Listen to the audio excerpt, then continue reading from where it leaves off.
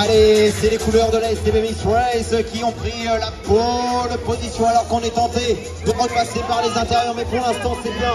C'est bien Kélia Mailleux à la pole position. Et on va parler derrière elle de Rachel Lasso Conti.